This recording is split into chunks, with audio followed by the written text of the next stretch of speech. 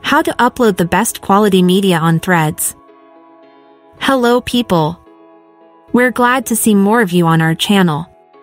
We continue with the quick and helpful tutorials you're used to.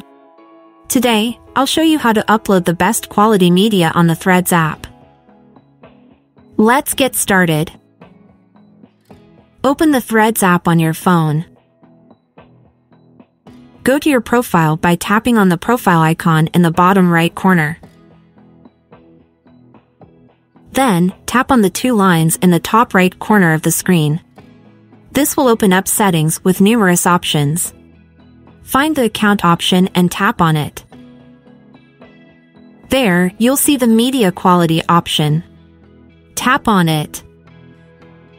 To upload the highest quality media, you need to enable the Upload Highest Quality option. As you can see, this option is not enabled for me.